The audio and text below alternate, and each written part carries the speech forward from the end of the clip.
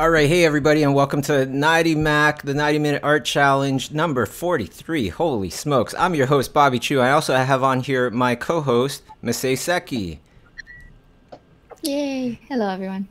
Sorry, I always pause. I always pause at that point. I'm like, oh, maybe Masae wants to say hi or something, and it gets all awkward. All right, so uh, today we also have on here a guest artist. As always, today's guest artist is, let's check it out. It's Wendy Tan. She just came Yay. on for an interview not too long ago. We love Wendy. She's so awesome. Look at all of her awesome stuff. You could check out Wendy on Instagram at Wendy Tan SW and you can follow her now before you forget. Okay, so what's today's challenge? What is the 90 Mac? Uh, well, every week we have some sort of subject and sometimes multiple times during the week we have a subject and we have 90 minutes to sketch paint riff off of this. And as well throughout this video you're going to see us the three of us tackle the 90 mac here as well. Today's subject is one of uh, wendy's i hear one of wendy's favorite subjects which is a fun little dog right? Or this one's kind of a big dog. Um, right? So we're going to be painting this. And then when you're done, you could upload it to Instagram where we'll be able to see it if you hashtag it 90 Min Art Challenge and just upload it. Once you upload it, uh, we'll be able to, everybody will be able to see it. And today I, you know, since like sometimes I have all these tabs open, I go to the tabs, they got to refresh. This time, haha, I planned ahead, mm. put them all in Photoshop. Nice. So this was cool. This was um, Lisa from Blackpink. And this one is the board. This is the 90 Mac, like one of the 90 Mac Discord boards, because we also have Discord on here. And you can see that everybody, you, you can see this one has already started. Uh, a whole bunch of people painting and drawing. Oh, that's pretty good. Div. that looks really good. That's very accurate. Just kidding. but yeah, fun stuff. You get to paint and draw with yeah. all sorts of other people. Everybody's welcome. So that's what that was. Everybody was drawing on the same board at the same time. Super cool. I like this one. It's just fun, isn't it? The whole entire mm, challenge I behind. Really, yeah.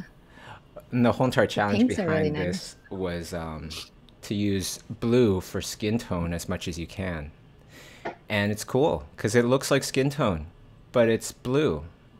Anyways, you could go back in the channel there, find that one. Here's a house. Here's another Kylo. Kylo looking sorry again. And then uh, this one, this one, boom. Really nice. Way to go. Nice. Bunch of different oh, versions. that one's good. Yeah. Very, very cool. All right. So um, that's the 90 Mac, and why don't we start with our own here as well? And here we go. Okay. So for this one, um, I'm in the bottom right hand corner. Masae is underneath the image, and then uh, Wendy, you're on the upper right hand side. Yeah. What else should we tell everybody? We also want to tell everybody uh, join us in Discord. Like I was saying, you can see on the bottom mm-hmm. of the screen, you can see Discord. You could join us there, or you could write a, in a question. Today, from now on, I've changed the hashtag. You usually you go to slido.com and uh, type in uh, ChiuStream as the hashtag, but I haven't done kind of like a ChiuStream in a long time. So I just changed it to 90 Mac, okay? 90 Mac and you could ask your questions there and we'll answer them mm. live. Um, yeah. And I guess now would be a good time to kind of welcome the Discord uh, community to come and join us for a nice little chat. You know, chat about art, life as an artist, whatever, and um, as we paint and draw. Woohoo! Woohoo! Hi, Bobby. Hey. Emerson. Mm-hmm. Hey. Hi. Great. Good to have everyone. Hey, Bobby, random side note. I was just reading the chat. Apparently, Wendy and I are in the wrong column. Oh my gosh, little- my bad. Oh, you is know, I, I, mean, I don't, I don't mind being Wendy today. no, uh, yeah. At first, I think it was Wendy joined in the Zoom, and then I just kind of assumed that she would be in the middle. So, my Mm. mistake. Mm. My mistake. yeah, we usually like, Oh, you know, go on each side of our guest yeah. and interrogate them from each side.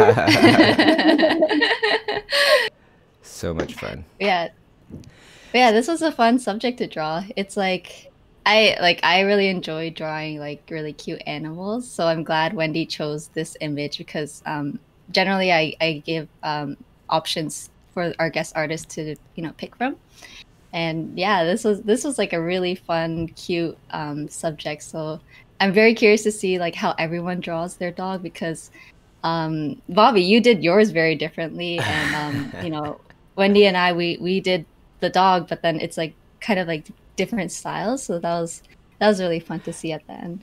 Yeah, lately I've been getting into like um, more imaginative stuff.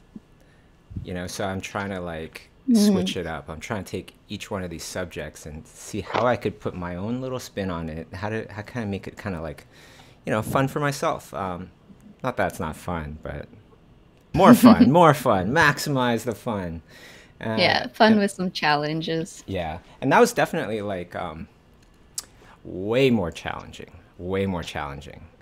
Because I didn't decide to just change the creature, I tried to change all the colors. Which was a bit more than I could, you know, I, I feel like for 90 minutes, that's kind of tough. If I if this was like an assignment, I had a full day on it, then no problem. But um, Mhm. yeah, it's a really good exercise. And so, yeah it's like oh, go go ahead. No, I was just gonna say it's like pushing your limits and seeing like what you know and what you understand because I think just by looking at the image you you can already like um, break down which way the light's coming from and you understand the form. So because you're able to understand that, then you know making it a bit more um, like very uh, a bit different and more creative, like kind of like pushes that um, artistic side of you. So I thought that was a pretty cool thing that you did for this one. You know, uh, yours right now, the silhouette. Could, if I squint my eyes, it could almost turn into a cool kind of seal.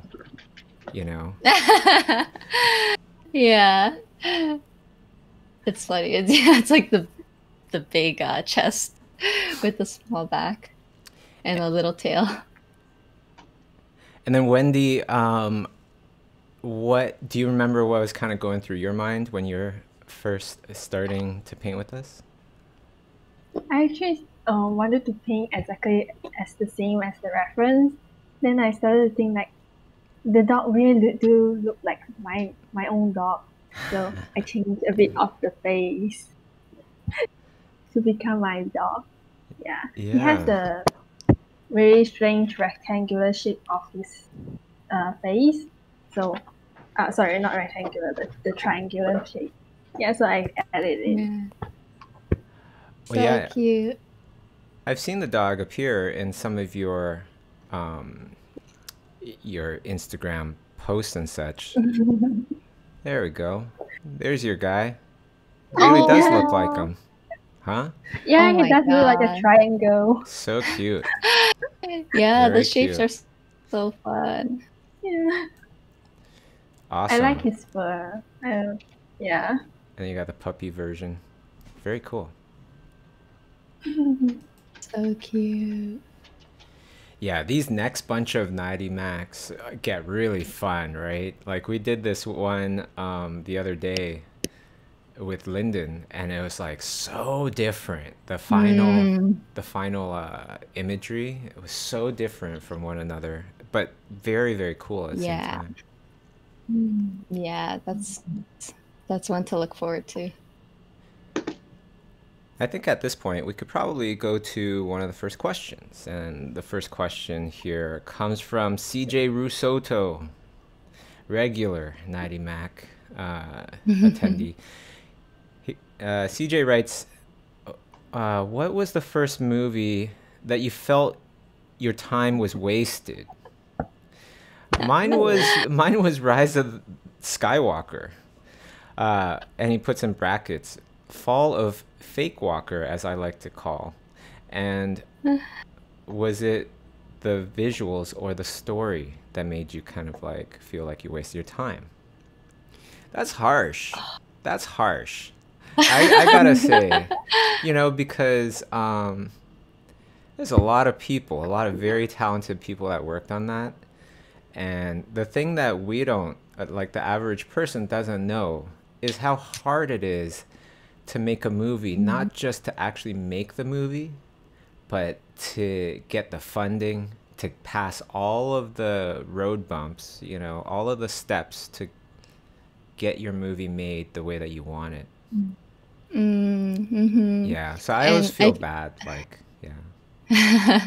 I, I feel like there's still like a lot to appreciate, even if it's like a movie that you don't particularly enjoy, like personally, because like maybe there's other things in it that you could kind of like enjoy, like whether it's the the costume design or the lighting, um, maybe it's the props. Like there, like you said, there's like so many people that go behind these movies. Like there, there's there is a lot of like craft and art that's put into it. So Let's switch the you know, maybe Let's switch the maybe it's question. not a waste of time. Yeah. it to the exact opposite. What was what was a movie that you really appreciate the visuals, even though the movie in general was deemed, you know, not a- hot movie by by the public.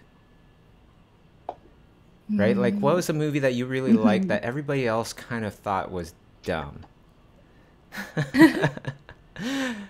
like for me, Mm. I don't know if everybody thinks this one was dumb, and I'd love to hear the community if they've heard of this movie. But um, Big Trouble in Little China, I love that movie. I don't know that movie, but That was with I'm kind of curious. That was with Kurt Russell, Mm-hmm. and um, and he had to he had to save. You know the the woman in uh, Sex in the City or Sex and the City um, that slept with the most guys, the blonde one. She was the love interest. Mm, I, I hear some laughing from the Discord. I'm, I'm assuming they they know. I never really watched Sex in the City, Yeah, but but one of them.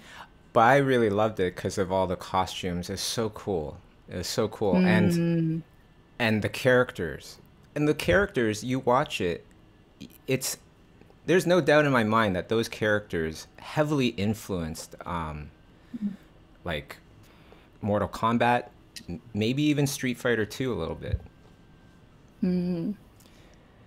does nobody in discord remember this movie oh my gosh Yeah, you guys can say something too. yeah feel free to unmute yourselves and join in the conversation or if you have a movie where it's like you know pretty much everybody thought it was dumb but you liked it. Uh, Oh, yeah. So I feel like the Big Little Trouble in China is much like the uh, similar vein of uh, the uh, the airplane and uh, uh, what's the other one? Oh, the- airplane. That's uh, old. That's old. I don't Yeah. even know if i've seen that. I think i might have seen that one time when i was a little kid. Like the satire, satire, like uh, uh, humor. Yeah. it's kind of like scream everybody that's like too young to know it's kind of like scream how or no not scream scary movie was to scream you know Yes. airplane it was very satire it was very just like ridiculous fun Uh, what was that like actor that play uh the dirt, the three and four gun? Oh um Yeah, that's something nielsen i forget Leslie Leslie Nielsen. leslie yeah yeah yeah right on Yes. Very Um, lovely. And funny. Yeah, you know what? Everybody's gonna like troll me probably, but I liked uh the last Star Wars movie. I did. You know why? Because they had lightsabers. It has such an attachment to me, you know?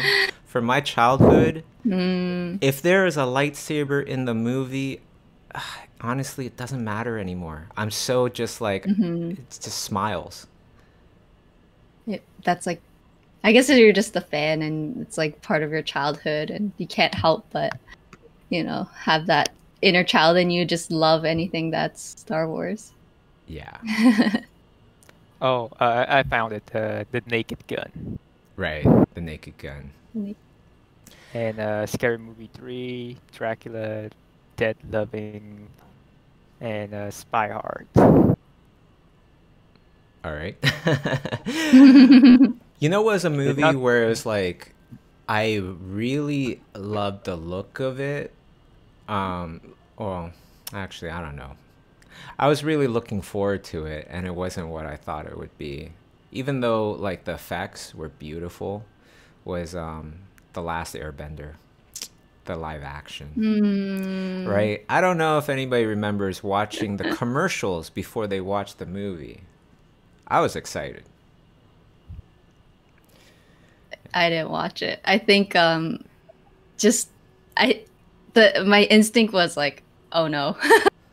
so um like because I watched the uh the animated like you know the original version and I loved it so much, I didn't want to have like a bad image of, you know, like the live action that was made, so I kind of like held myself back from watching it. But yeah, I'm sure like you know the effects and stuff look great, but I heard the just overall the story was like you know, or the the way it was filmed was not that great.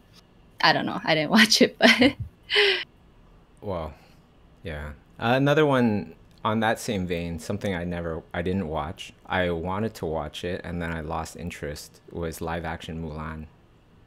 Still never watched that. Mm, Right, I was so excited Yeah. about that movie coming out because, again, it's, you know, it's part of my heritage and stuff, and mhm. there's not that many mainstream, like especially Disney movies, that tackle that kind of thing. Mm, mhm. Yeah. I do agree on Uh, that. And You're right. Yeah. I watched it. Yeah, Hmm. I watched it, and it feels like it's a really a big send off from the original animated version. Ah, Well, Mm. I definitely heard a lot of backlash from the Asian community, the Chinese community, just going like, "Is this what you think Chinese people are?" you know, like, "Oh, my honor, my honor has been, you know, taken away from me." We live in the 20 we live in 2021, you know. Mhm. Just saying that it sounds like you're in the future and to kind of um, think of us like that, that's kind of funny. It's not it's not like insulting to me, but it is kind of funny. Yeah. When Wendy, do you have any movies in mind where you like where uh maybe it wasn't known to be a good movie but um you enjoyed it anyways? I don't think I have that because a lot of movie I actually do enjoy it. But to be honest, I really do do not enjoy Mulan at all. Oh, you watched The, the it? Live, yeah, she, watched yeah, she it. watched it. I agree. It- uh, I, I don't know because of the trailer the first thing uh, we really like a lot of our Chinese community like in Malaysia they do talk like they are not historical historically accurate at all Mm, especially when they show the Pulau. Uh, I don't know how to pronounce it in English. It's actually the the the first scene that they show in the trailer, the round building. is actually not not supposed to be that period, and we thought like, oh Mm. no, they happened. Why?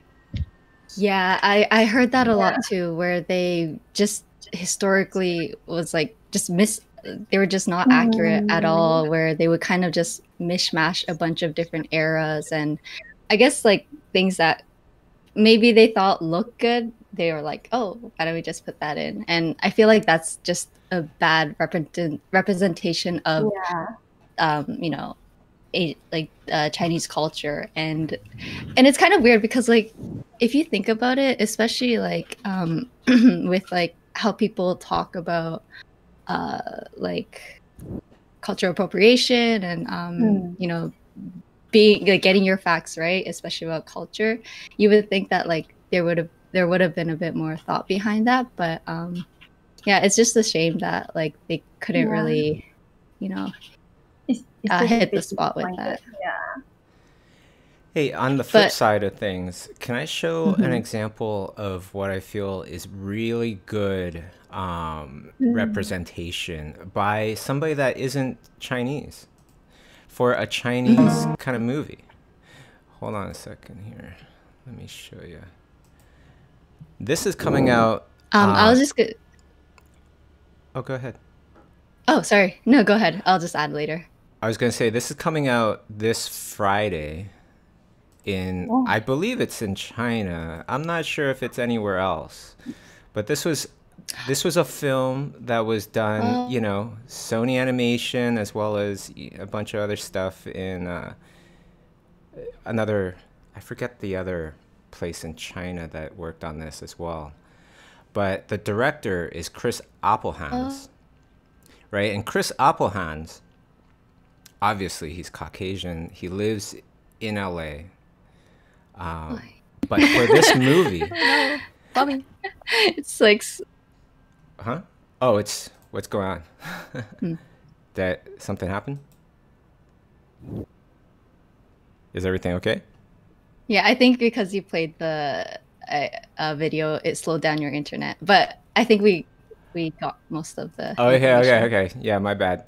Um, yeah. So, anyways, the director, his name is Chris Appelhans, works in, you know, lives in L.A. Um, but during this film, he moved to China. He moved to China and lived there for two years to make sure that the authenticity comes across. Right? Mhm. That that is way beyond what you need to do. So I encourage everybody to check out that film. Yeah, Wish Dragon. I actually was able to um, listen to Chris Appelhan's uh, talk during Lightbox. Oh, so and yeah, he just yeah, so amazing. It's just like how he really immersed himself in that culture and he surrounded himself uh, with the people, like the locals even, and just got someone to, you know, kind of like guide him through um, the place that he stayed and he got to hear like different stories. So he was able to take those stories that he could never ever experience in, you know, the States and try to like uh incorporate that into the film and also like getting a bunch of artists who was born there and um who can tell like there's there like little things like you know running across uh like a street with this toy that like only people who live there would know like little things like that i think um it's really appreciated by uh people who you know who came from there who grew up with that culture so yeah i'm really excited to see that movie and just you know just see hearing how much like work that he put in and his whole team it's it's definitely one of those movies that's like very anticipated And Jackie Chan's part of it. Everybody loves Jackie Yeah. Chan. He's awesome. Yeah. um but yeah the the other thing that i wanted to add with the mulan thing was like um even though it was very unfortunate that you know it didn't really do well and represent the culture maybe that's a good way to learn like what how how it should be made run, uh, right from here on with like movies like that especially like coming from hollywood because it's it kind of goes to show like um, the importance of representation and getting things done right? To make like you know the audience Yeah. happy. Especially like audience who come from that background. I have a question regarding the Mulan though, because in this industry we often hear cool over correct, and even though Mulan the live action was not done correctly, what do you think made that an issue? Is it just not cool enough? Maybe the story was not well written enough. Here's my Perhaps- issue with it. You know, does the movie look like um, it's supposed to be historically accurate, or does it look like it's supposed to be fictional? Right? Because how they mix it up. Mulan, obviously, there is historical significance if you know anything about the the backstory, like that. You know, that's a very important story to, um, you know, a lot of people. Uh, and then Mm-hmm. it's kind of like okay, I'm gonna throw a big giant monkey wrench in this. Has anybody watched Bridgerton on Netflix? Because yeah. that one's interesting. I don't know what the right answer is, but my own feelings with it is that when I watch it, it looks like something that is somewhat historical, right? It doesn't look mm-hmm. like Avatar. It doesn't look like a fictional world, like a completely fictional world. It looks like a fictional world based on history. Now, is it good mm. to all of a sudden um, you know, put things that are not historically correct at all into these historically depict like these these shows that feel like they should be historical. I don't know, so don't kill me on this, but uh, these are just thoughts, you know, because like say 20 years down the road little kids they watch this film and they go oh yeah victorian days those are great. You know everybody got along together black people chinese people white people. We all wore those funny wigs and we all got along together. Is that Yeah. right? Is that what we want to kind of tell the future you know the future generations? Right? Kind of uh, this is a very Yeah. meaty kind of question though. You know what i mean? Mhm. like mm-hmm. man what is the right answer there? Yeah. because it's also good to have diversity. We all know this Yeah. I you know like yeah. name two two uh, american movies where the asian leading man kisses a non-leading asian girl or non-asian leading girl okay just two movies in all of american uh, cinematic history if you could do that in the next two minutes i'd be surprised and you could put it in the chat you could tell us in the in the in the discussion here you know Mhm. so yeah it is very important to have that representation but Mhm. i don't know it's a funny i'm like playing both sides here yeah. Good to be open about both. I think I do agree with Bobby on that because if um, the latest film or movie that doesn't involve in diversity, even though it's historically correct, it feels not. I don't know how to say. It's like it's not um, suitable for what we what we are, right, in this um, period. It's, it's it doesn't feel like twenty twenty one. Hmm. I don't know how to say it. Mhm. Hi, Bobby. hi So um, I like where the conversation is going. And you remember yesterday when we talked about Black Panther? yeah You know, I told I told you something like such movies are bound to be problematic. Yes, Black Panther is fictional, hundred percent fictional, but there is a tendency for people to watch it and assume that is how people in Africa talk. You know, there is this. Um, those are some of the problems that uh, we found with the movie, the kind of representation that was delivered, and how there is the sense for people to uh, conflate what is fiction with what is real. You know, there is a tendency to say, you know, people in Africa were kings and queens, and there is this very annoying accent that every Hollywood character who is supposed to be African uses. And you know, it's it's very similar to what you're saying now. Uh, some Mm. 10 years in, into the future, someone will watch the movie and assume some of these things were historically accurate. It will flatline a lot of Yeah.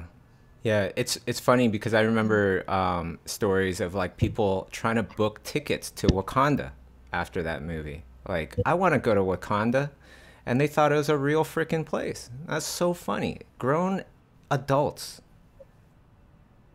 Unbelievable. Mhm. Hi. Hi. Uh, I have uh, one thing to say as well. Uh, you know the Netflix Witcher, The Witcher. yes.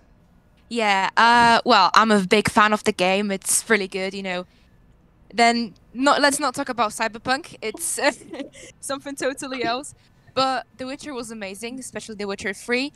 And then when the Netflix came out with uh, The Witcher uh, series, uh, since uh, I'm Polish and you know I'm very into uh, the culture and stuff. Obviously, my culture. I'm I'm a patriot, so I'm into the culture and stuff. And I was I was expecting it to be awful, and it turned out pretty pretty awful.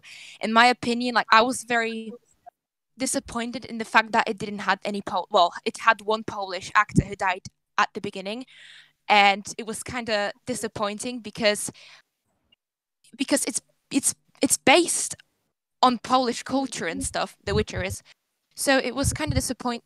You know, it's actually like people in Poland look a bit different than other white people. Like just Slavic people look a lot different than let's say British people. So I was very disappointed with the fact that there was no diversity in terms of like at least like getting some Slavic actors into it. So it, it could be you, you could feel that kind of vibe of like, oh yeah, this is about like the Slavic culture. You have the Slavic demons and all that. And overall, it was this show was just very confusing, uh, and I hated it. I was so disappointed with it. It was so sad. You know what's funny about what you just said and what we're talking about here is like Yeah. Hollywood, uh, you know, there's you definitely heard uh, when people say Hollywood just keeps putting out the same stories over and over again. Like at some point in your life you've heard that, right? And it's like but there's so many more stories to tell. Right? Like I want to learn about Polish culture. I want to learn about especially like historical accurate you know, depictions, stories that happen in those times, in those places. That's freaking fascinating. And that was one of like the most fascinating things when it came to like any movie for me. It's like uh, what what are they doing over there or what did they do over there? Oh, that's so cool. Wow, that's so different, you know? Yeah. I like how Yeah, they're starting to tell oh, sorry. stories from different people's points of view now as well. It's like you could tell the same story, but tell it from that slave's point of view now. You know, tell it from the butler's point of view. And then you got an amazing movie again. Hmm, mm-hmm, There's so many mm-hmm. opportunities for so many more very cool stories that we've never seen before on the big screen. I always wanted to kind of see a movie about World War II, but in Poland. So all of the Holocaust stuff and stuff like that. Because I went to Holocaust and I got interested in. Well, I'm interested in my culture, obviously. So I just I would like to see a movie which kind of represents that and the actual tragedy, not like Pearl Harbor stuff, which in comparison to many stuff that happened in Europe is it's very mild. Like if you if you look what happened in France or uh, well, France, Italy, Poland, it was something totally else. So I would like to see that as well. That's kind of interesting. Yeah, I would love to see a lot more uh, movies that take place in like India, in Pakistan, in like you know the Middle East, like those kind of with those kind of with those people being the stars, and uh, hopefully even like some leading male actors that are actually considered um, attractive in these stories. I'd hate to say it. Somebody, you know, I was saying before, hey, name two movies, you know, where the leading Asian guy kisses a non Asian woman, right? And mm-hmm. only one person wrote something, and that was Harold and Kumar 1 and 2. Let me point out something. Harold and Kumar, those both those characters are not meant to feel like those are the attractive characters. Those are the comedy, comedic characters.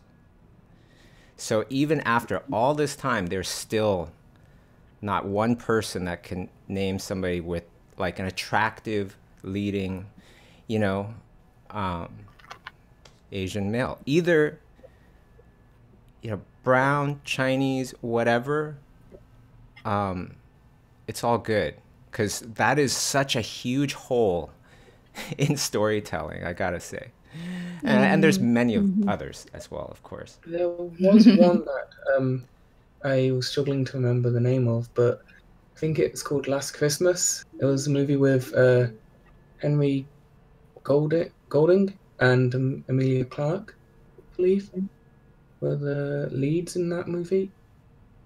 It was a romance one, but it wasn't an action or something. So, So but that, beyond that, right, it's it's difficult, is what I'm saying, right? You can't name two. yeah, yeah. Yeah. I think though, can I? Um, I think though, like if we want to actually learn about other cultures and see movies based on those cultures, the easiest solution is actually like go international and see what you know Indian films are about, Uh, or what Middle Eastern say films same. are about. You know, and hmm. That's what I love it- about Netflix right now. You know, it's Yeah. like they I'm seeing so much more foreign content now because of Netflix. Mm-hmm. Hmm, yeah. Mm-hmm. And it's like it's really interesting because culturally the storytelling is different. So suddenly you have a whole new interest, interesting story that maybe you know the locals maybe found like mundane, but for me, like sometimes it's very interesting because it's a fresh way for me to tell a story or to approach something, just because culturally uh, the director takes it from their point of view, and it really you know opens up new ways to think about stuff. You know, what's interesting was um, when uh, uh, Pantoja, Pantoja uh, I was talking to him in the interview, and he was talking about pitching stories, and then he was like, "Yeah, you gotta." In his opinion, you gotta pitch the story, and then you gotta tell them why it's you that needs to make this story, and not anybody else but you. Mm. You know, and that really that's very interesting to me. I don't know if that's like a Netflix kind of thing because he's at Netflix right now, or because you can definitely feel Netflix and their their um, their mission to make everything very diverse. Mhm. Mm-hmm.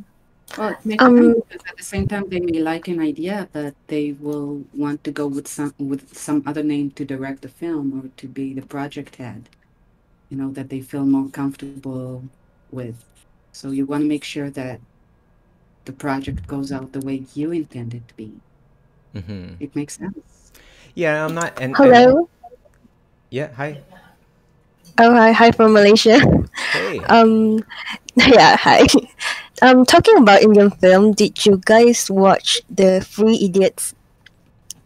It's a very good film. Uh, well, it- this one is old, right? The three. Oh, I Idiots? rem- I know the Three Idiots. It's really, really heartwarming. Is it from the Mm. same director that always tells the st- the same sto- basic story but in different characters and different storyline? Yeah, I That don't even know I was- this. don't know. Yeah, that I was a don't know. weird way to ask this. I'm sorry, I just don't remember his name. His name is uh, Rajkumar Hirani. The director name is. Oh, okay. Oh, Cool. Yeah. thanks. You know was a you know was a awesome movie that never came out. DreamWorks years ago was working on a Bollywood Oh, film, and it's like it's called Monkeys of Mumbai, Mm. and that looks so awesome. Um, Mm-hmm. I, I wish that came out. Anyhow, we got to talk about some painting because a lot of painting's going on. Um, maybe we could just talk a little bit about what what you're doing at this point and wh- where you plan on going, or any kind of thoughts about your painting currently, like how you feel about it, anything. Mm-hmm. Wendy? Um, for me, I think I'm currently like going on the backgrounds because I want to like finish it before I um, move on with the with the main characters. Uh, for me, if currently I think about it, I should uh, focus more on the background more, like make it more blurry because right now it feels like too sharp and doesn't have the um how to say the, the background feeling. Yeah. Uh. I, I feel like meeting for on that. Yeah, I remember at this point I was just like pretty focused on the background just to kind of establish the whole um lighting and like feel like I wanted to be something just like the photo, like a very like bright, uh like war like lighthearted kind of uh painting. Um and I definitely wanted to keep the flowers at the very end because that was kind of like a fun little thing to add and not to not to get like too caught up on that because I'm I feel like I would have. So knowing myself, I like held myself back and like, you know, worked a bit on the background and then the foreground, then the dog and then the flower. So that's I remember thinking about that.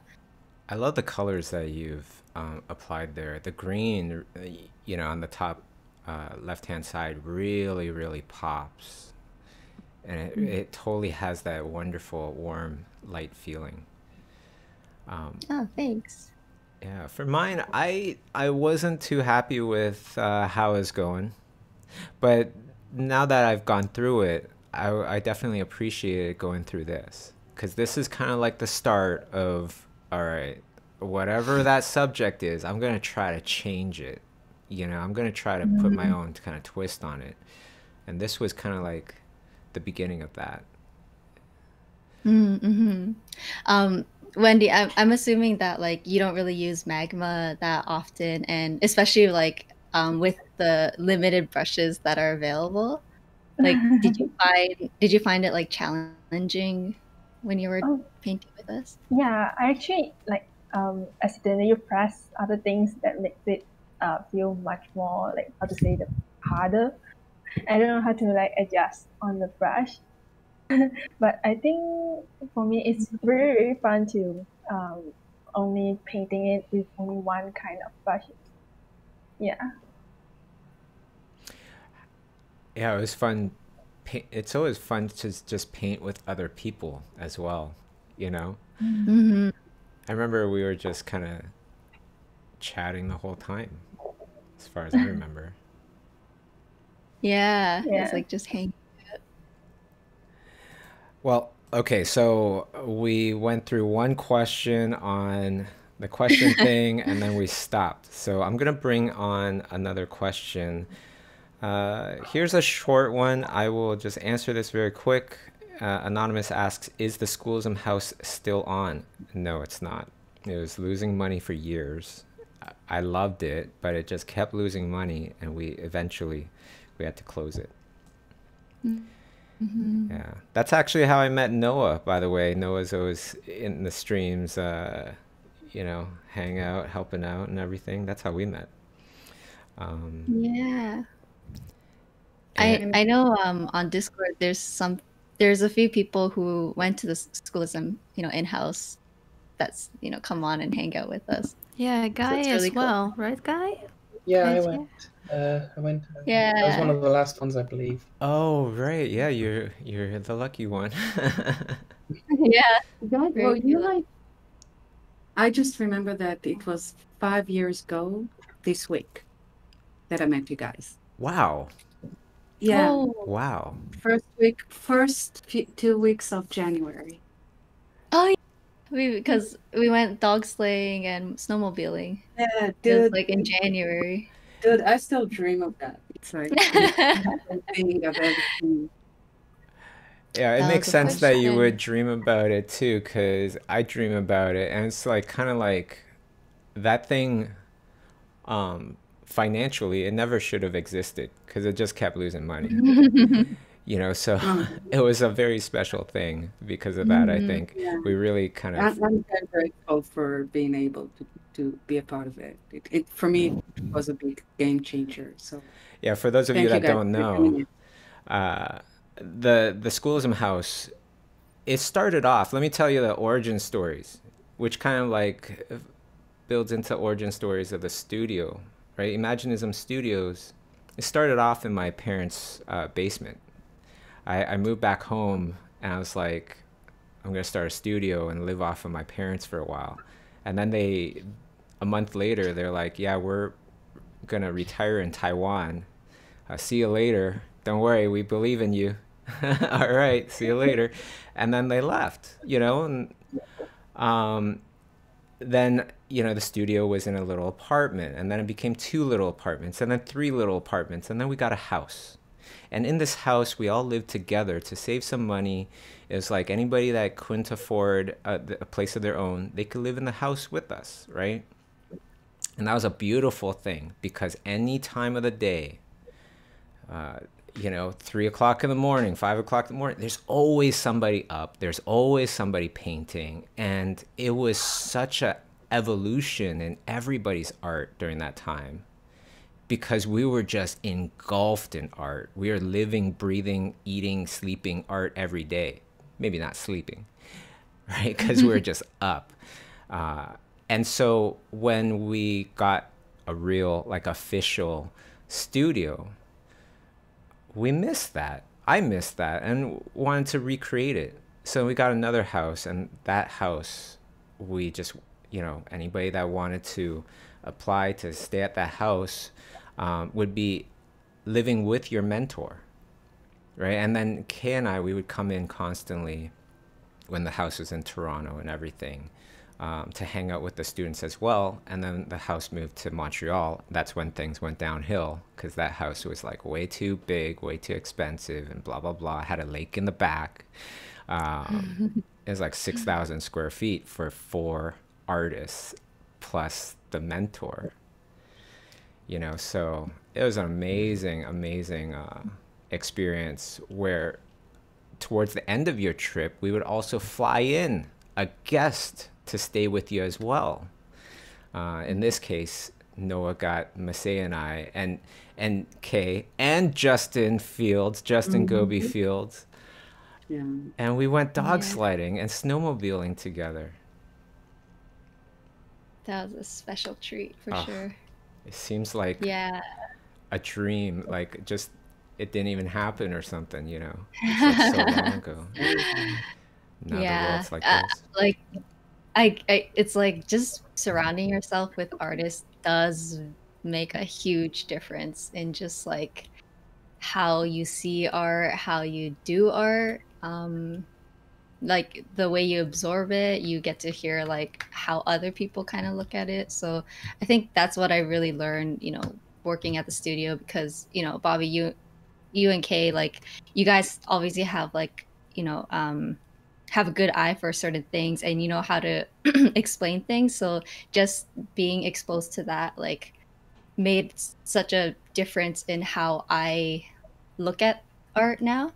And um and and hopefully like even people who are tuning into these like 90 minute art challenges, they can kind of experience the same thing.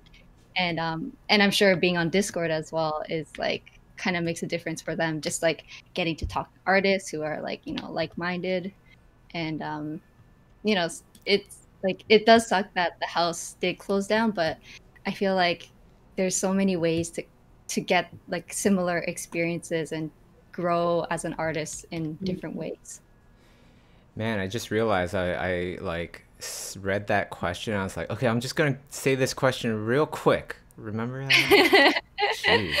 Yeah it, it opens many doors and like conversations so Yeah. Good times, good times. I remember uh, we get to our snowmobiles, and Kay and I, we have to share one. And then Kay just gets on. She's like, no, you're on the back. and I was like, oh, man. Okay, all right.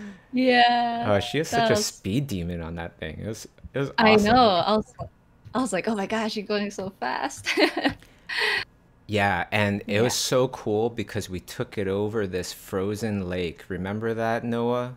It was Oh, just yeah. like open space. It was amazing. Dude, I was like driving so slow because it was so pretty. So I didn't care about, you know, being on speed with everyone because I was like, oh my gosh, I've never seen anything like this. I remember Mm. Nikhil slowed us down the most. He was afraid. He was afraid of him. no, I love Nikhil. He's awesome. But was- I do Yeah. remember like, oh, what are we waiting for now? Oh, it's Nikhil again.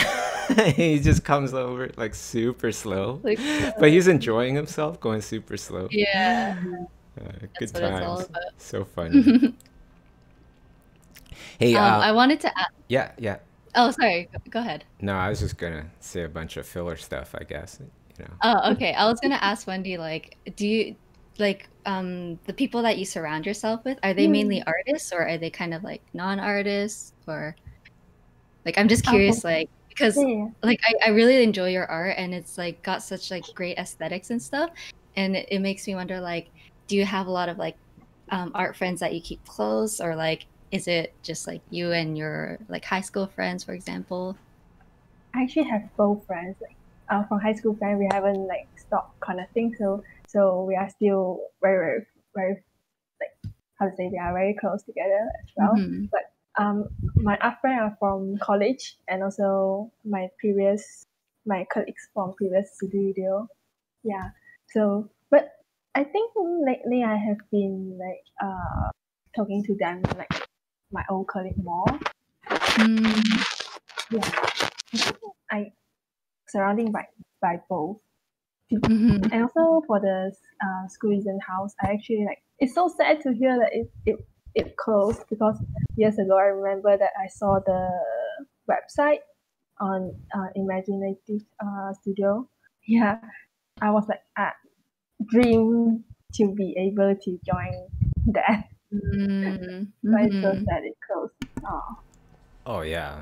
Like we had the most incredible like we had um Nathan Fowkes stay at the house, you know, and like not just teach just four people, but he was breaking bread with the students, you know, really living with them for a few days. That was really cool. Andrea Blasich came, everybody did statues.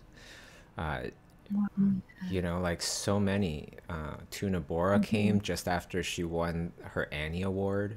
Um, Oh yeah. right? There's so many amazing artists that stayed at that house. And you're Yeah. totally right, Masae. Like that whole entire thing of like it, it helped people to hone in their conversational skills as well, right? Because it's not just conversational skills, it's like having conversations with people that you highly respect. A lot of times we freeze up. We don't know how to kind of converse. Mm. yeah, that's. I remember having a lot of trouble just knowing what to say to like big artists, but you want to just realized, yeah. Oh. you, you, you definitely realize like they're just normal people, but you know, just with very high skills in art. Yeah. And you know, But, if um, anybody is a little hesitant, join the Discord. You know, join the Lightbox Expo Discord first. Then you could just Mm. talk with, you know, everyday people and stuff like that that are also artists and and get used to it because that's another part of being an artist. It's not just the art of uh, you know, storytelling or painting or whatever. It's also the art of conversation. Mm-hmm. Yeah, it's. I think that's one of my um, goals for this year is to get better at conversations and just, um, I guess being, uh, yeah, just being better at like you know expressing myself and talking, like knowing how to describe um, art. And Yeah. yeah. I do agree. Me too. I, I was actually, yeah, I'm actually the same. It's actually And- I find like if you get when a person gets better at um, kind of communicating, their level of art also goes up. Right? Like Mm. um like sometimes the the conversations that I would have with some artists is like so specific. You know, it's so freaking specific. And if you don't have that ability to kind of um, really get in depth in your conversations, then you won't be able to communicate as specifically. Mm, mhm. And that's why Yeah. it helps your art too. Yeah. Um, when Iain McCaig came to Toronto to the to record his workshop, I remember just kind of just sitting there and admiring like how well he how well his storytelling is and how easy it is to get like absorbed into just anything that he says. So like I was I was pretty starstruck like when he came, so it was hard for me to um you know have like try to be normal and like have conversations and stuff. But I just remember like thinking, wow, this is like kind of like the the characteristic for a very like you know amazing artist, not only in his art but also just his character and personality. And I remember just being so like you know amazed by like just how he was and who he was. You know, you hit it very well, Masae. This is the first time I'm hearing about it. I I didn't realize. I didn't realize that you were starstruck at all. You felt like very just natural. So good for you. Thanks. Like um like I don't I don't I'm not really into like the Star Wars world like Star Wars world or like um you know a lot of the Hollywood movies but just like I appreciate his art so much and like I think just seeing videos of him and just how he's so like enthusiastic and just like positive that also like you know enhances his art even more so I think um that's like where I respect Iain so much is like just his art and his just him as a person. yeah. Wendy, if you had to give a big like stamp of approval for an artist out there that you met, who would that be? Like uh your who would be your Iain McCaig? Hmm. For me, for me, for me you. Yeah, because, No. um, Okay, you can't choose me, but that's very nice of you. Oh my gosh. because like um the previous interview um eh, to be honest I actually don't want my boyfriend to watch it because I feel like I'm talking like very weirdly or like my train of thought is weird Huh. yeah but he actually watched it and he think like we might have need like uh like how to say uh like a short talk between us so he can help me improve on how I can improve on my conversational skill. And he told me that uh you actually have very very skillful uh conversational skill because um sometimes I have uh stopped your how to say like um uh I interrupt yeah I interrupted your lines um things like that. And he he, he said that you can help and you can smoothen that and uh doesn't make it feels like very awkward. Yeah he, he told me that. So I, I feel like wow that's a very very great skill that I never thought of too. Like yeah. Oh, awesome. Wow, that's awesome. Well, thanks. Uh, embarrassed, embarrassed. All right. Let's go to Congress. Yeah. yeah, Uh, we can go to the next one. yeah, let's go another uh, something, anything. All right.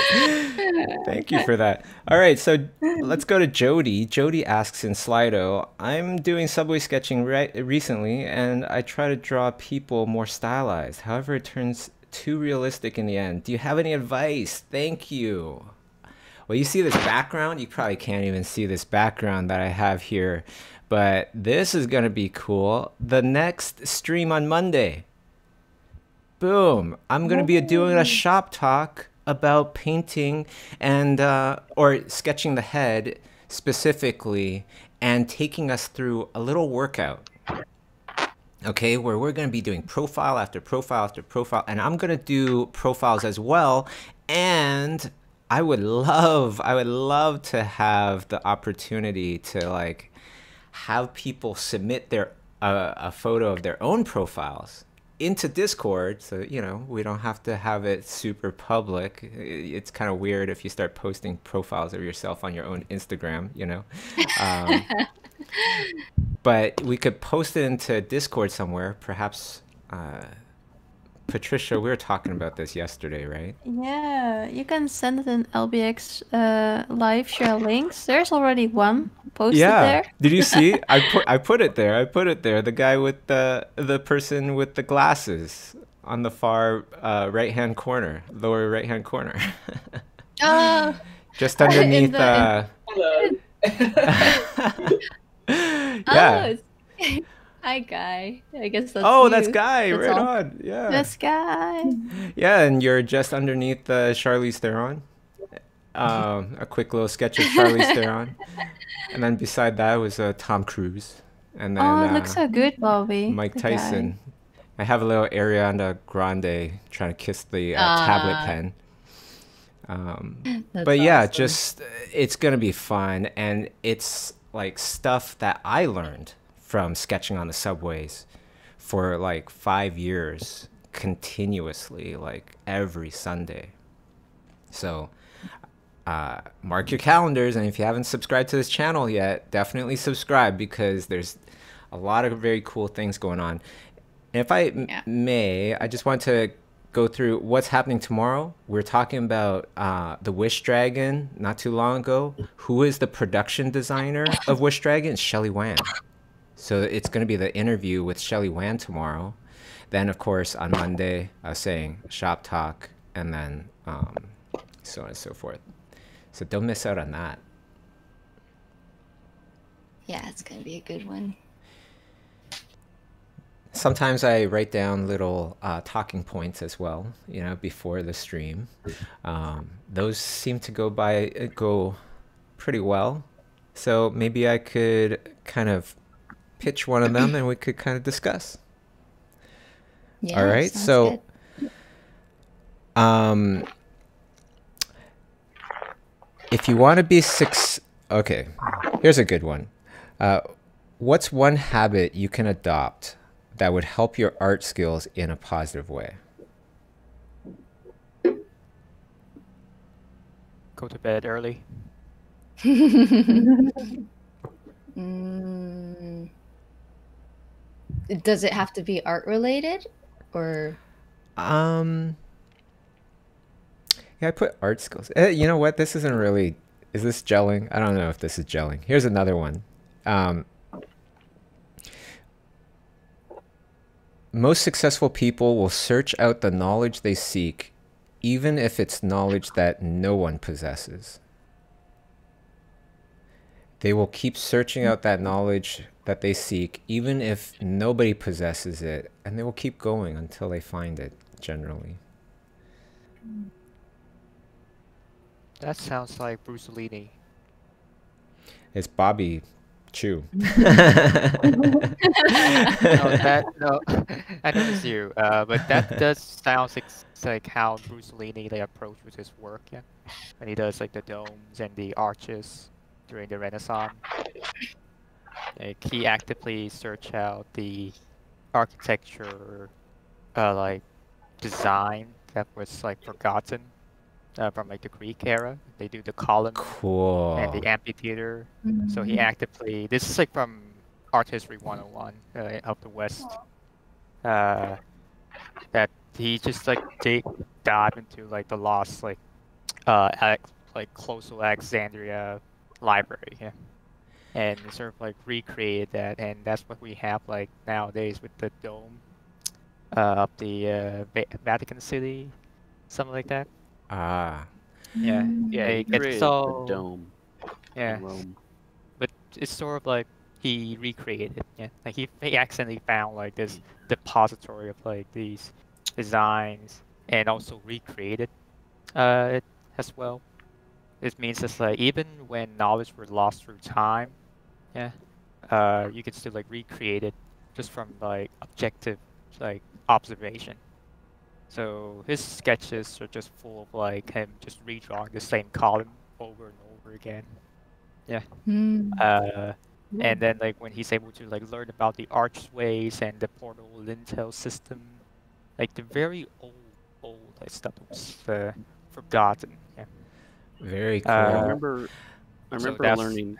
Mussolini also invented all the cranes and everything to be able to get all the supplies up to the dome, and also had like a whole kitchen and layout for everything, all the workers up there, so that they could stay up there longer. Yes, yes.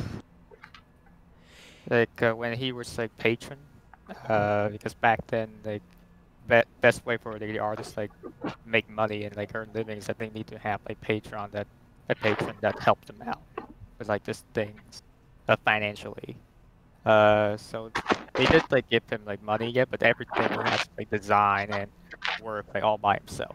He's like both Well, that's cool. architecture and All the right, let's let's. Uh, I think that's we get the picture. That's really awesome. that's really awesome. I don't want to you know cut you off, but I just want to kind of keep things going. Um, you know, when you were talking, I was thinking about. For some reason, I was thinking about um, Alessandro Carloni. He was the head uh, of story for How to Train Your Dragon. I don't know if you like that movie, but that was one of my favorite animated movies. And he talked about growing up in Italy, no education in you know around him dealing with animation, but he wanted to get into animation so badly that he just kept rewinding, playing, pausing his his VHS tapes of old Disney movies and just learned how to animate. That's what I'm talking about. You know, it's like Mm. when you don't have all the resources around you, the successful person tends to keep going and tries to, Mhm. you know, find the thing. It doesn't matter. Mm-hmm. Bobby, Yes, can I add something to what you just said? absolutely.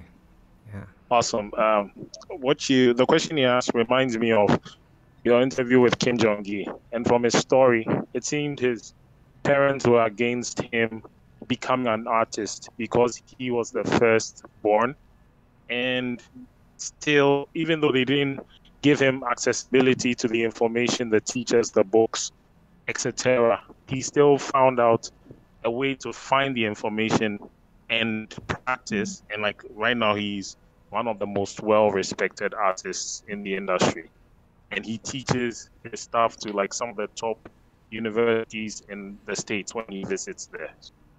I think that's a good example of that. Yeah. Thanks for that. Mm-hmm. That was awesome. Rob, Yeah, Here's another. that's true. It's like Oh, go ahead. Oh, I was just gonna say like um if you can't find it, like if they can't find what they're looking for, they just you know keep seeking for it and just don't stop until they do. So I think that's a pretty good um like thing that those successful people have is like they're just very persistent. And I think that's what, you know, makes a difference with like I guess like you know the gap between like very good artists and just I don't want to say re- regular artists or just like Novice. artists who kind of artists that are just like content with where they are. Yeah. I, I think then there's the artists that just complain. You know, and that I understand the complaining, but it doesn't do you any good.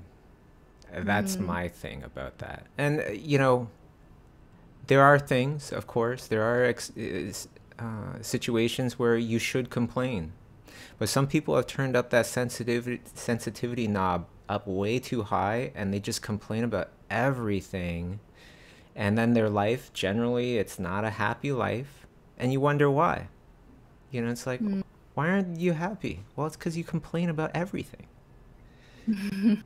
right one one of my favorite interviews last year or favorite guests last year um was Hari from uh, Vienna you know how he talked Mm. about I asked him the first memory of him doing art, and it was drawing on his neighbor's car. Remember that?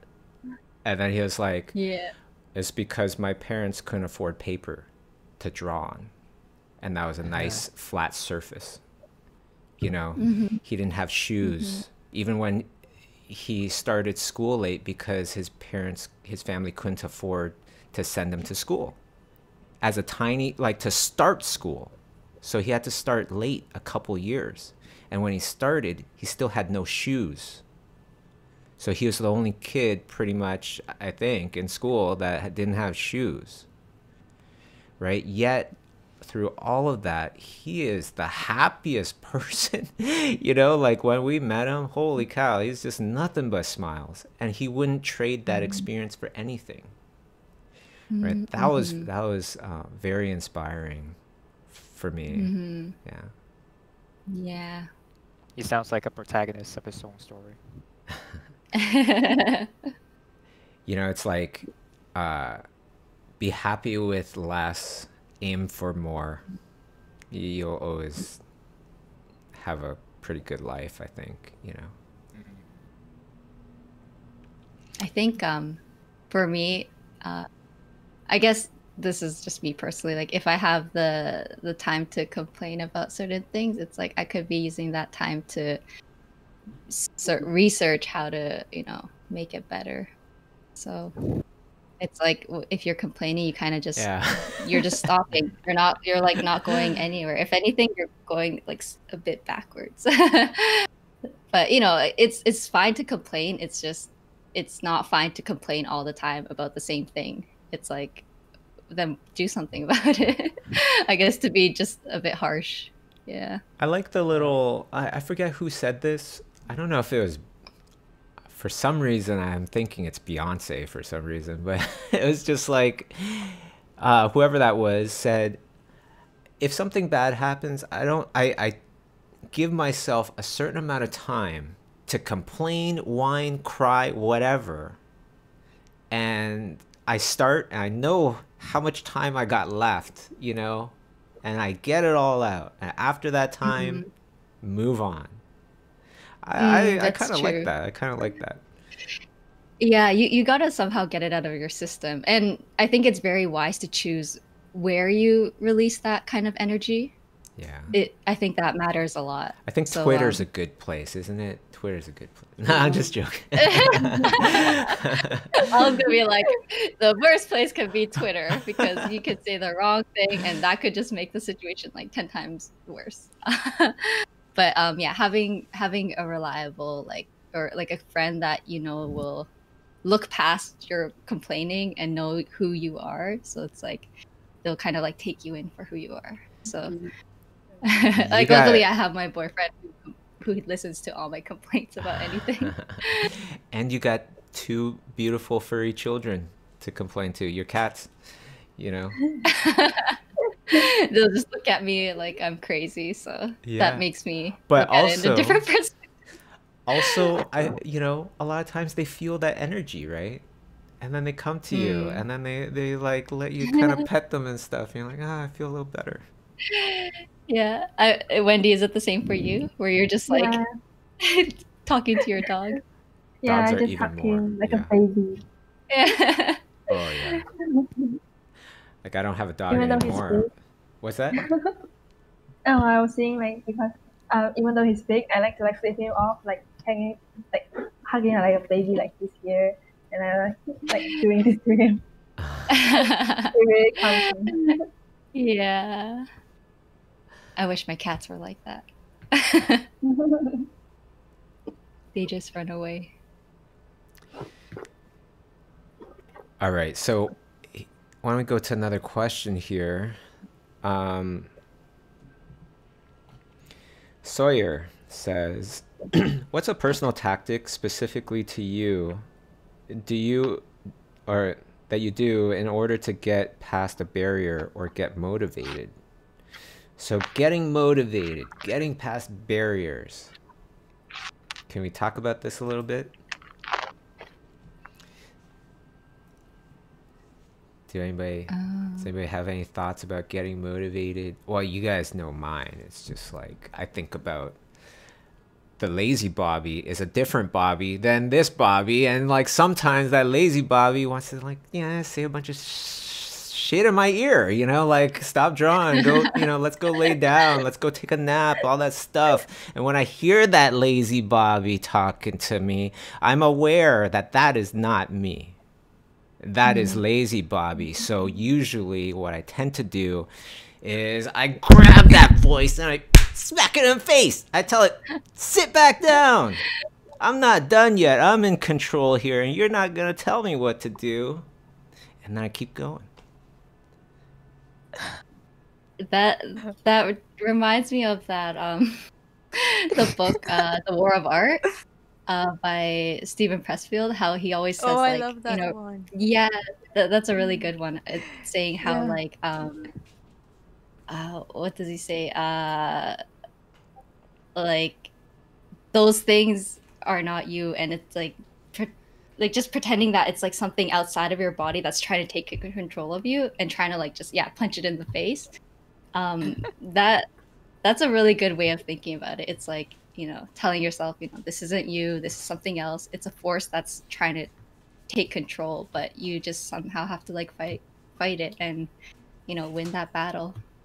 You know what's really interesting to me? I, I heard this thing where it's just like, um, oh shoot, I'm gonna go off topic here. Wendy, or do you want to add to this topic before? Like, yeah, what- I'm curious to hear too. For Yeah. me, um, I, I I usually if I have like a like very uh, how to say like uh uh like something that caught my mind and I have to like let it go. I will write down like what is those things that uh that bothers me, and then I just put it aside and move on. How do you Mm. stay so motivated? I want to know that one because you're a little too motivated, I would say. Like you need to take care of yourself more and like slow it down. Oh, for me, I I don't know. I just want to like keep on going. I don't. Because, but to be honest, really sometimes there is a very down downtime, but I don't let it go. So, um, it will keep me motivated. I Hmm. think. Mm-hmm. Very yeah, cool. motivation is hard. Motivation is hard sometimes. Yeah, I you know, okay, so this was the thing I was going to mention before um and again, this okay, this is a Bobby fact. You got to look this up, make sure it's true. I'm not too sure, but what I seem to remember was that um most drugs are not the drug. They are on switches for your brain to produce the drug. So, in other words, your brain could already produce these drugs that alter your state, right? Which to me means like, yeah, my brain is not me. That's a that's a part of me, but my consciousness and my brain are two separate things. My brain is like an organ. It's like a muscle. It's like you know a body part, and sometimes it acts up right? And that's Mm. not me though. And to separate that Mm. those two really helped me because like shoot, I feel like this because of the stuff I just ate. That's not me. I never should have ate like three candy bars and and you know a coke and and uh, extra large coffee. Hmm. Right? That's not That- your yeah. conscious you. That's that's like things uh, influencing you. And there's like th- these Mm. two halves of us. Yeah, I I do like the fact that like, you know, thinking that way can help break things down and like I think once you understand that, it's like it's up to you ho- like um to decide like how you want to control that. It's like is it because you're not yeah, is it because you're eating this specific type of food? Then, you know, cut that out.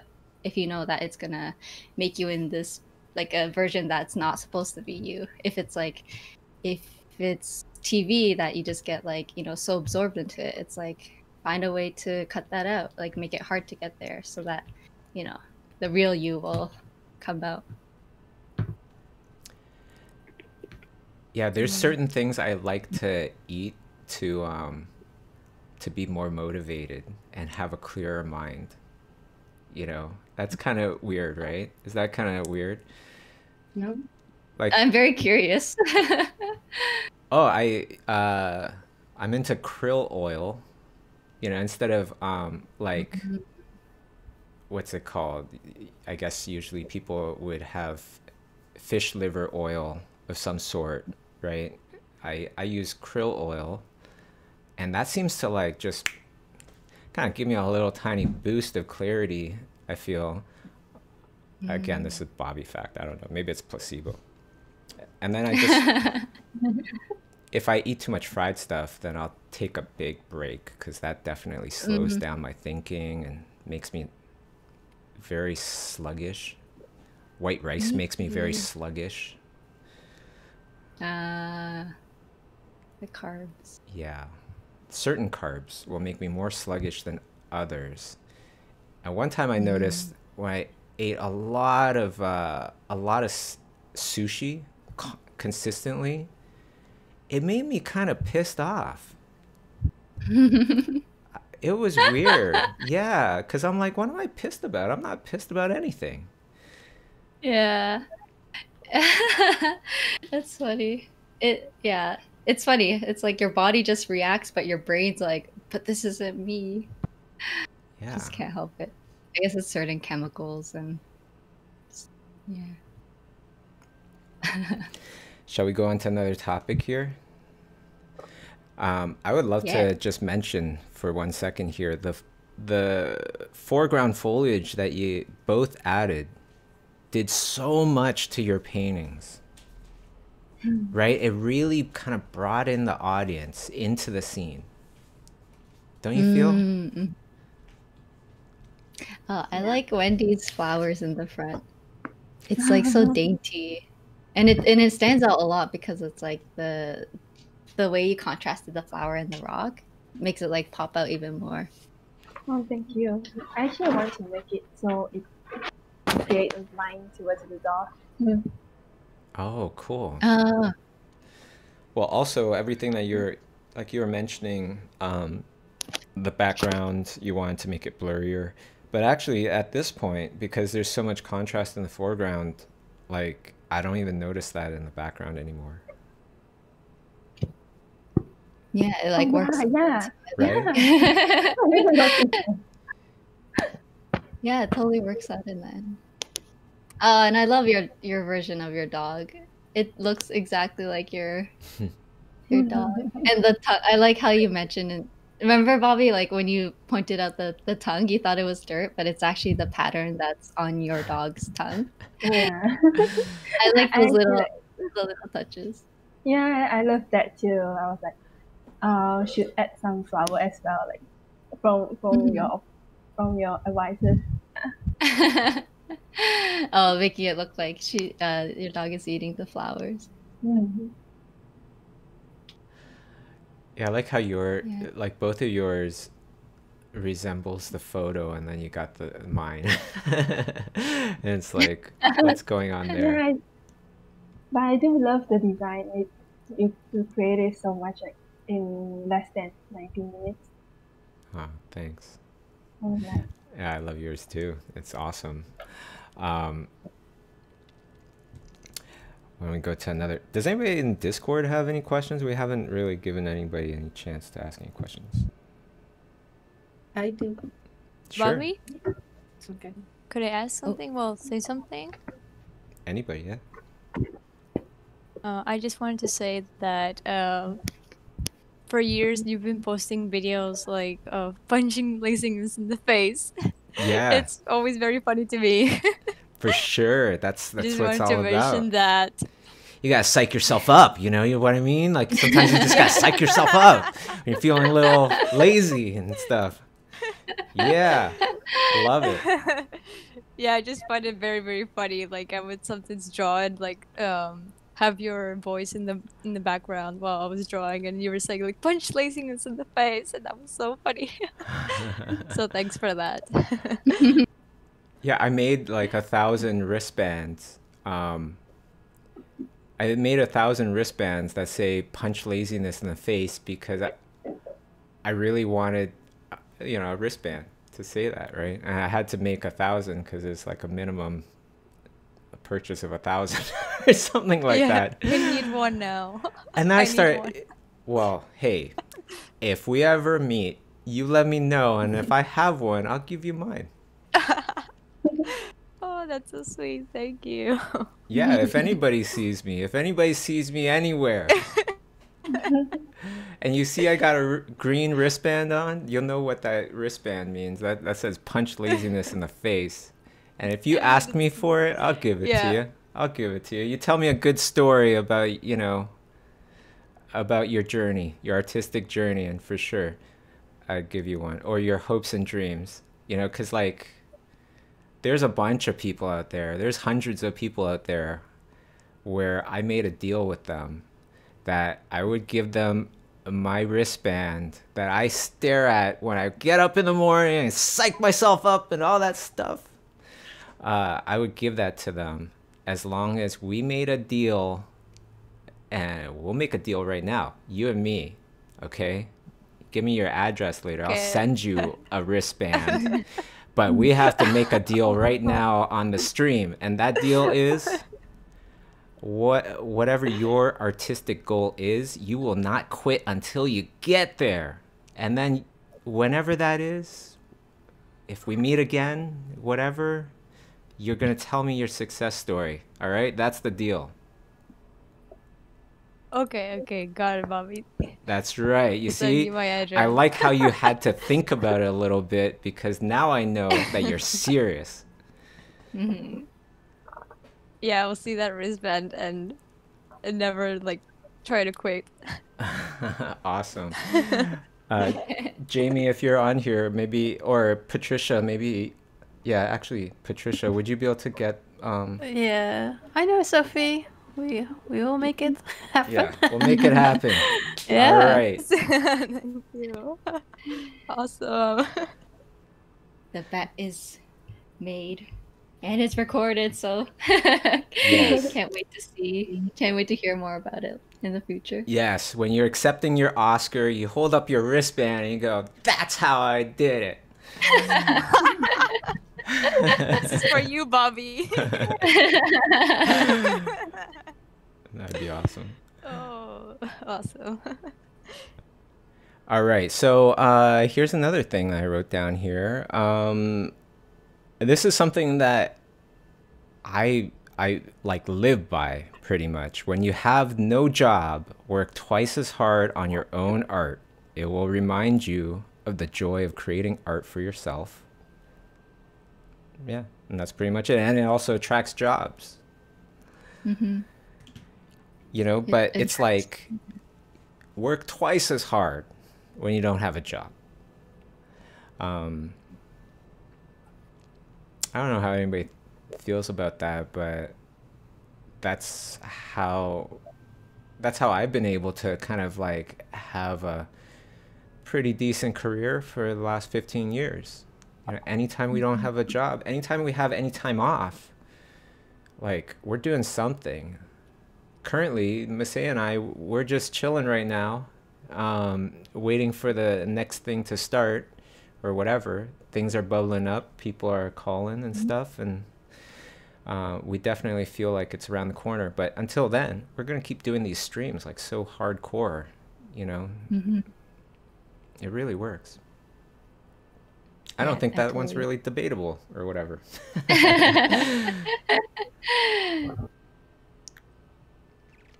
Yeah, I yeah, I I can't. I'm just yeah, I agree. I totally agree because then it's like especially like when you put in a lot of effort with the art that you like, then that's that's going to attract people uh to the work that you are, you know, most happy about and you like and and if that turns into a job that's like, you know, even better. So I think when you have the time, like really put in the effort because in the end it will pay, you know, it'll come back. How do you feel about uh, personal art, Wendy? Like, um, y- you know, like that's kind of a weird question, but I don't know. I, I- you do a lot of it, right? You do a lot of personal art. That's what I'm kind of getting at. I have been doing it um, for quite a long time, like a few months, because uh, because of work lately. But I do inspire by you guys because you guys have works and you have own own personal works as well. And also you you guys be doing the stream. It's just like doing a lot of things together. So so I'm very inspired by you. Oh, it's awesome. Good. Well, I'm I'm very inspired by your work ethic, Wendy, and uh, everything that you've been doing, which is why we keep bugging you to do more stuff with us. I hope there will be more. I enjoy it so much. Mhm. And just like a dream come true. Here's another one I wrote down uh, earlier. I it says, um, if you want to be successful, a great habit to do is aim to be a good role model, especially when no one is even looking. Mm. Right? I, that really came from just watching and experiencing uh, my many different friends becoming parents. Because when you become a parent, you tend to want to be a good role model now, right? All the time. The emphasis is increased. So I was just thinking, yeah, why does it need to w- wait till we're parents? You know, why can't we just start now? Mm. That's that's pretty good. It's like putting having that kind of mindset.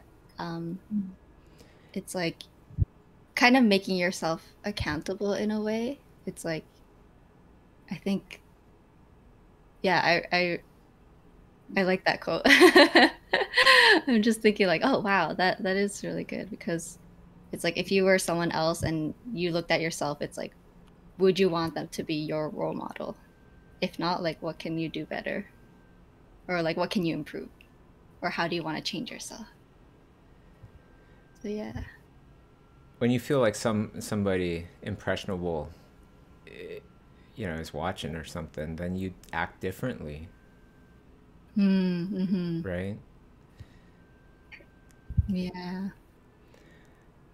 Yeah. So I just wanted to write that one down. Does anybody want to add to that or anything? Yeah. All right. Well, I got another one. uh, the other one was one that I mentioned right in the beginning, um, but then we skipped over it. So, if you want to be, or sorry, what was it? What's nah? You know what? I went through all of them. We also have some Slido questions. Mm-hmm. I have a question if you don't mind. Oh, absolutely, yeah. Thanks for for anyone. Um, I've been struggling with figuring out why just making pretty pictures isn't as good as storytelling and meaning um, in illustration. Could you shed any light on that? Masae, Wendy. Like, like the importance of storytelling. Oh, why why sorry. Um the question was why is it better why is storytelling better than just pretty pictures? Yeah, exactly. I think um, for me, the way I think about it is like, um, I guess pretty pictures can be more of like a surface thing where you just look at it and you're like, oh, that's really pretty. But when in, when there's like a story behind it, I think um, when you start like looking at um, your own experiences and your own like um, stories, and when you can relate to that, it's like it's like another part that um, maybe a person can connect to. And i think that's kind of like a like a a way to you know pull at certain strings you know heartstrings with certain people. And Mhm. that's kind of what like stands out to them. Because i guess on like especially like on instagram there's there are a lot of pretty pictures and like a lot of people react to it. But then is it memorable? Like perhaps. But i feel like the ones that like really connect with um you know people the most is what's like remembered the most. Um and it doesn't necessarily need to like be your own stories but like just seeing a story and like understanding that um i feel like it makes it more like it leaves a bit like a bigger impression. Um that that's just how i see it. I don't know about you guys bobby and wendy Wendy, did you do you have any thoughts on Yeah. this?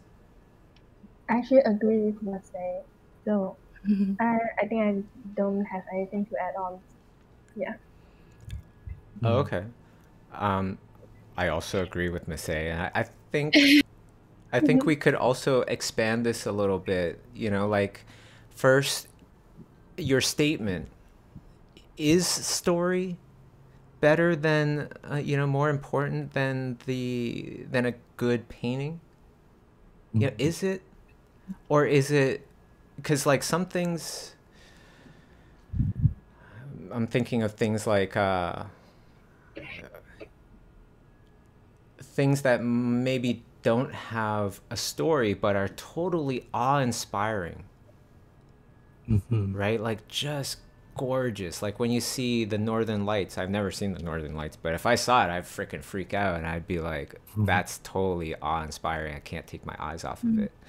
Um, so, what's the connection there between stories and that experience of some, seeing something awe inspiring? Right? I, Right. I think like the story is one very, very popular and effective vehicle to create that emotion, that strong emotion, whether mm-hmm. it's awe inspiring, crying, sadness, happiness, whatever. And that's what we are attracted to. That's the part of Mm. the art that we're really attracted to is like feeling something, right? And that's how you could see the people that really love abstract art.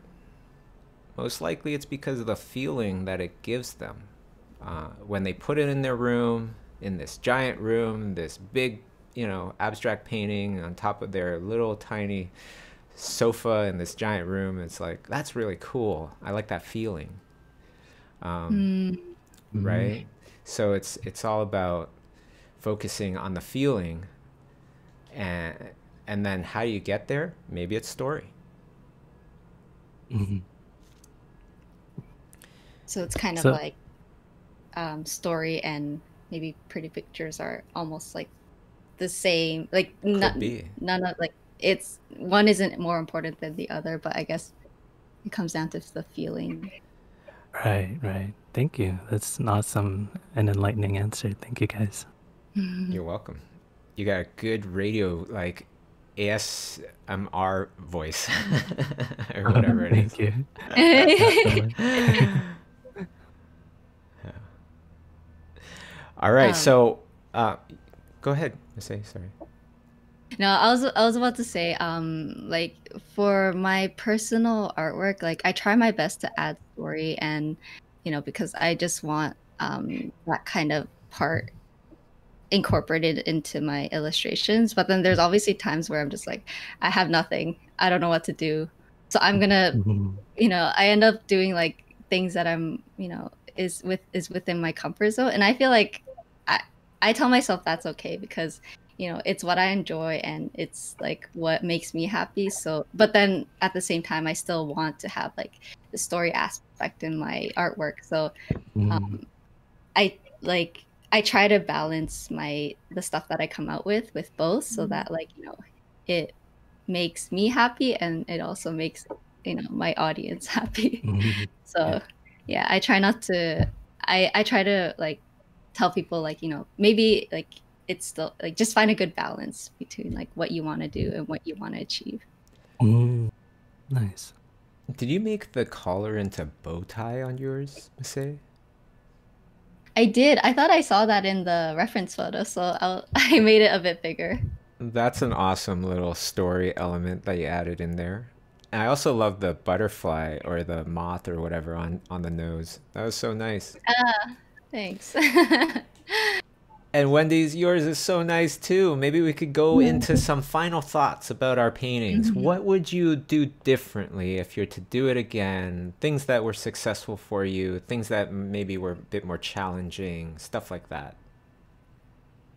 For me, I feel like um, because I'm very new to the uh, app, um, it's quite challenging for me to how to like uh, formalize it with with the uh, painting because uh, I I tend to use uh, texture brush and uh, mold on brushes a lot of time because it help me helps me on creating better lighting uh, and stuff.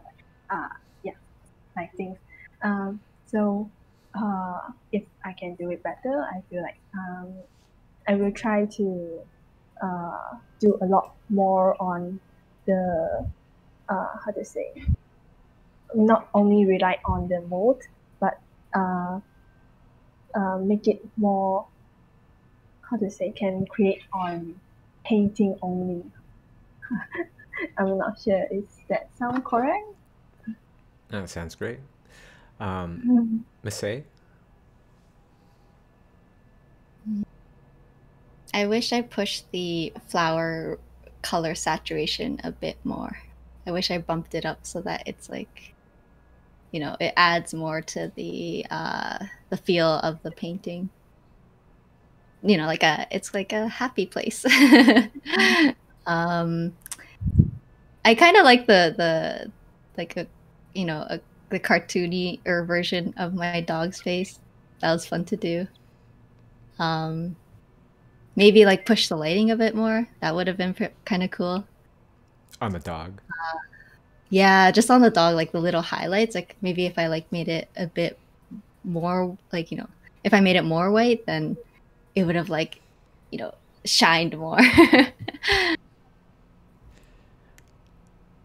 I really like how the both of yours are, you know, very similar and so different at the same time. Um, yeah, I really do appreciate the fact that there's a there isn't much blending going on in Wendy's, right? And that was the thing Mhm. that Wendy you're kind of concerned about in the beginning, or you Yeah. wanted to change, but it actually worked out very well. Mhm, Um, mhm. and then contrasting to that is Masae's like, holy smokes, that's awesome. Um, It's just like a picture from from the reference. yeah, It's so nice. I do remember as I was painting mine, I was like, uh, should I be doing this? This seems really challenging. Um, I think what it what it was were those trees. They're just way too contrasting. Like when you look at the contrast between the trees and the parts behind the trees, and then you look at the reference photo and you look at the trees and the stuff behind the trees, it isn't nearly as contrasting as what I was Mm. doing. And that made those trees pop out way too much and didn't have them mix in with the foliage as much. Um, Mm, so, like a the value is too dark. yeah. Uh, well, just too contrasting. I, I feel like the values can be okay. It can be like that, but I just need to mix in more darker Mm. values in the green stuff in the Mm. background, Yeah. right? Like in between the trees.